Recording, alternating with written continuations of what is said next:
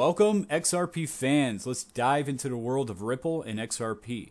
We're going to hear words from Brad Garlinghouse, the CEO of Ripple, and also President Monica Long on an ETF which they state is on the horizon. We're also going to hear from Monica Long on a stablecoin that is soon to be launched. Also, we're going to check out a recent XRP Ledger upgrade and look into a new partnership. So, if you're an XRP fan, you come to the right place. Please give the video a like and share with friends and family because the more people that learn about XRP, the more people can invest.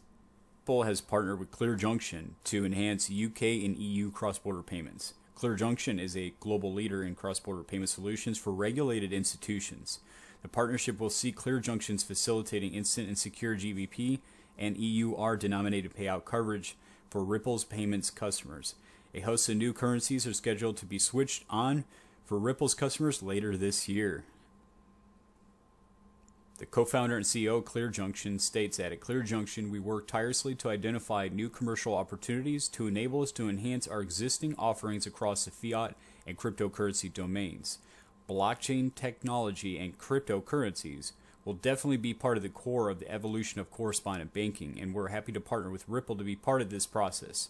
It also states here that established in 2016, Clear Junction Services enable quick and safe access to multi-currency payment accounts, e-money accounts, virtual IBANs, and treasury services for regulated financial institutions.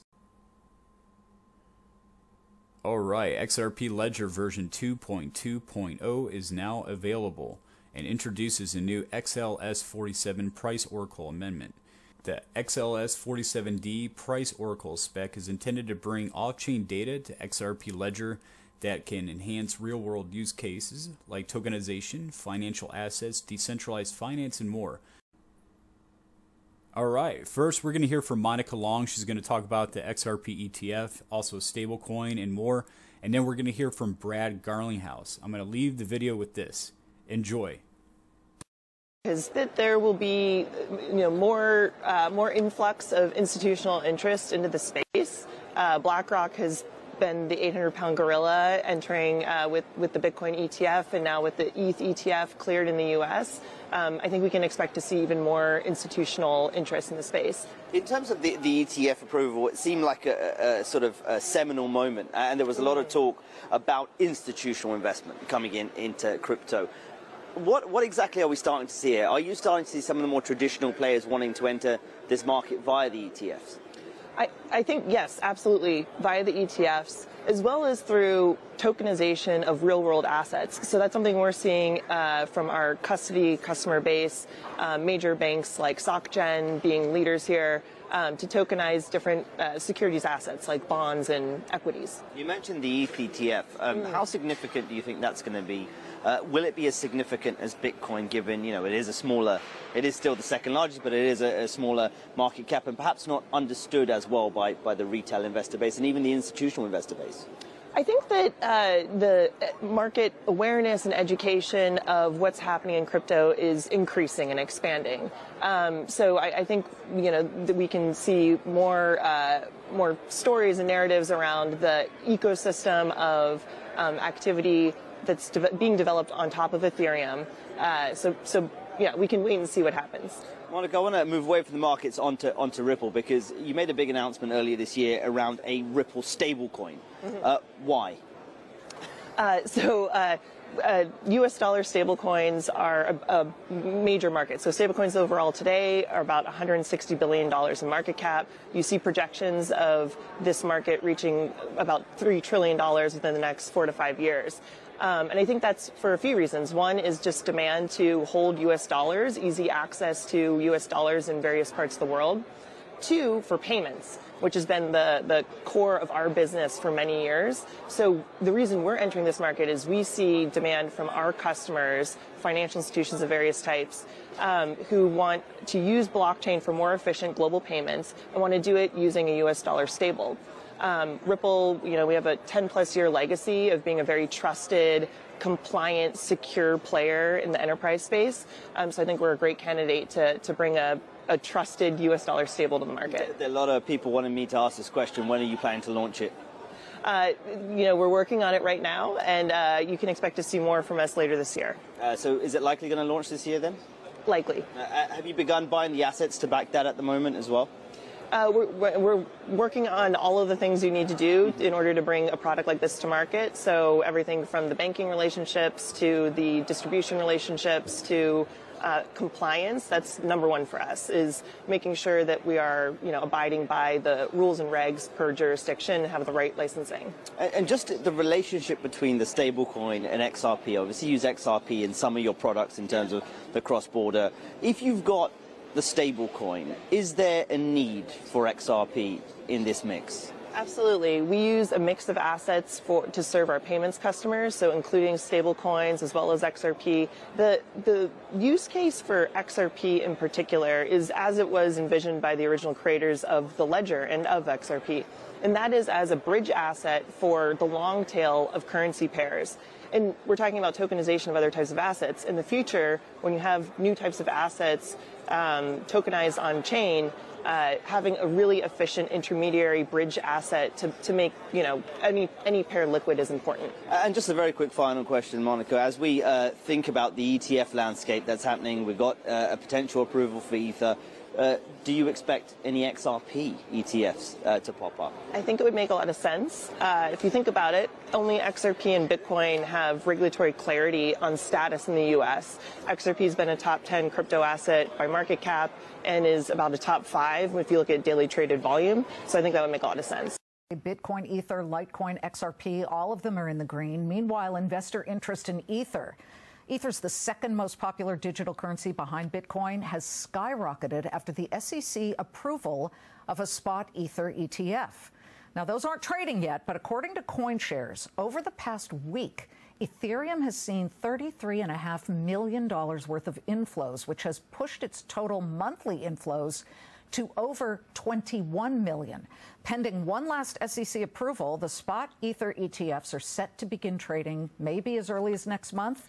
So here's the question Is the dam now opening? And could XRP, that's the cryptocurrency used on Ripple's money transfer network, be the next to flow into the ETF market?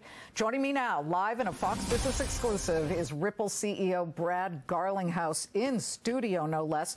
Oh, let's get to Ether first. Word on the street is that that spot Ether ETF is, is going to come alive. It's alive uh, next month, as early as next month, maybe July. Who knows? What do you think? I think that's right, and I think it is a big deal just in terms of opening, further opening the markets to more people who want to access it. Obviously, the Bitcoin ETF went live in January and you saw 10 billion. I mean, it took I think two months to reach the same level it took gold's ETF to reach over like a year. So uh, the interest in this space remains very very high, and I think the ETH ETF will do extremely well. What do you think is behind the SEC becoming let's let's just call it more pragmatic about cryptocurrency ETFs and the approval process? Well, I think the first thing is they've lost a lot in court. And so, you know, they really got dragged kicking and screaming across the line to get the Bitcoin ETF live. And I think they realized that if they were going to drag their feet and fight around the ETH ETF, that likely the same outcome was going to happen. And I mean, it's frustrating that we have to go through the courts to get those positive outcomes. The United States should be investing in these technologies. We should be embracing these from a job creation, from a technical innovation. And unfortunately, this SEC has been fighting it you know, every step of the way. I've known you for, I don't know, seven years now. And back then, y'all didn't have that loud a voice. For it sure. feels like you do now. So, what about an XRP ETF? You were speaking at the Consensus 2024 conference just a week ago, and right. you said inevitable, not just for XRP, but Solana and Cardano, et cetera, et cetera. Right. Uh, but XRP in particular, the SEC has tried to throw you down in court. Yeah. Don't you think that Gensler and company might just say, now that one, no way. I think it's a hard argument for them to win. I mean, can they make life difficult? They've made life difficult for a lot of people, then they've lost in court. What I was talking about at the consensus conference last week in Austin was that people don't want just exposure to one commodity. So if you have exposure to gold, you might want exposure to silver. If you have exposure to other commodities. And so to me, it only makes sense. You don't want to have just a single threaded uh, asset exposure. So I think people also forget that it wasn't that long ago before the SEC got involved that XRP was the second most valuable digital asset. And that was before the SEC kind of anointed ETH. Then they couldn't answer the question is ETH a security or not, and now they've approved the ETF. They, they contradict each other. It's very diff- contradict themselves. It's very difficult to follow. Let's not assume that all our investor audience understand what XRP is. XRP sure. is the token or the coin that Ripple, which is a money transaction site, right, that is charged, right? Yeah. You, you, get paid in XRP, but it's it's become something that people can also buy whether they use the Ripple blockchain, right? Correct. So eh, XRP is a digital asset, not that dissimilar than Bitcoin or ETH. There's different characteristics of each asset. Bitcoin has really become digital gold and it has thrived because of that. ETH, there's a lot of excitement around the smart contracts capabilities. XRP is extremely fast on a per transaction basis and extremely inexpensive. People talk about gas fees and transaction costs of some other tokens. Ripple uses XRP as part of our technical stack to do cross-border payment flows. And and you charge you charge whoever is moving the money Correct. what point zero zero zero zero one of XRP, which stands around fifty one cents or something right now. But here, here's my question. Right now, the main competitor in that space is SWIFT. That, of course, is the Society for Worldwide Interbank Financial Transactions. That's the global one that a lot of people use they charge much more, do they not? Yeah, they really are the dominant. I mean, Swift has been around for, you know, 50, 60 years. And the frustrating part for all of us as users of Swift is that it really hasn't changed in 50 or 60 years. The architecture of how it works, it means it's slow, mm-hmm. it's expensive, and frankly, it's quite error prone. Uh, some studies have shown that about 6% of all Swift uh, attempts to wire a SWIFT uh, transaction end up in errors that bounce back, and Oof. then it takes days to get it back. What about you guys? Well, the, an XRP transaction and a payment flow for us is really real time. It's instant, it's mm-hmm. cross border. And the really powerful thing for a lot of our customers is they don't have to pre fund accounts because our customers are financial institutions. And the way Swift works is you're pre funding, you have dormant capital sitting in other banks around the world. Using XRP, using RippleNet, our payments network, you don't have to pre fund. When we look at uh, this, this suddenly coming alive cryptocurrency, at least in the past week or so, so now we've got Bitcoin back above 70,000. Some people are making the connection between that and the Roaring Kitty re-entry into the world, reactivating his account on Reddit and saying he owns $115 million worth of, of GameStop shares. Do you, do you see any connection between his sudden emergence and all of the cryptos moving higher, like a meme stock feel back in 2021 where people were also diving into crypto. Yeah, I think this momentum is really driven from what's happening on a political basis. And it, the United States remains the largest economy in the world, and it has been kind of backwards as its approach to cryptocurrencies you know, countries like the UK are way ahead, Japan, Singapore, Switzerland. I mean, we are really behind the rest of the world. And Ripple has offices in many of those cities. We do. We have uh, 14 offices around the world.